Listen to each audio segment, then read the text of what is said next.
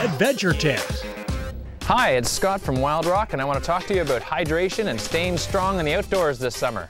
Anytime you're exercising for more than 45 minutes in the outdoors, hydration becomes an issue. Look for a backpack with a water bottle holster or an internal bladder. As we exercise longer than two hours, it becomes important not only to rehydrate with water, but as electrolytes as well, and calories, or else our performance will fade and we could cause harm to our bodies. Adventure Tips is brought to you by Wild Rock Outfitter, Charlotte Street, downtown Peterborough.